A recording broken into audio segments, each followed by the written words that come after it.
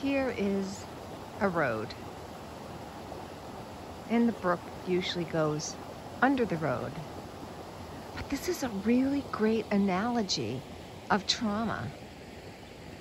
So, as I was told in my training,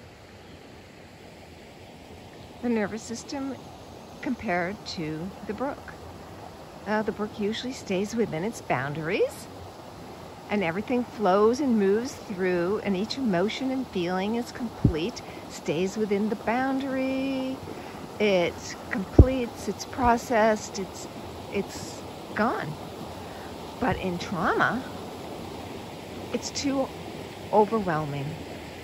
The electrical feeling state rises and gets past the boundary. It can't contain it. It is moving so fast, overwhelmed, too loud, too much, too violated. And so it makes its way out of the boundary and not out of the body. And here's where trauma is. It stayed in the in the body, not within the boundary. So it is overwhelmed and stuck. And therefore, you feel explosive, upset, high anxiety, high stress, high activation.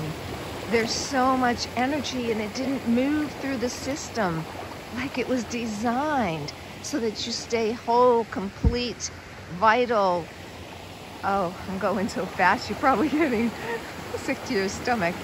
So, there's a quick little way of understanding a little bit about why trauma happens. It's not the event, it's not the flooding, and it's whether your nervous system can handle it or not. And depending on your age, your resilience, your capacity, everyone's nervous system is different. So everyone experiences everything differently and about their own capacity.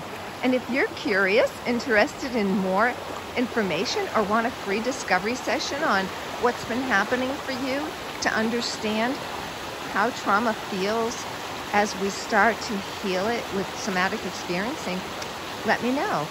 Sharon LaFlamme, Creating Serenity Now. I'd love for you to check out more of my trauma healing tips, coping strategies, and information right here on YouTube. Namaste.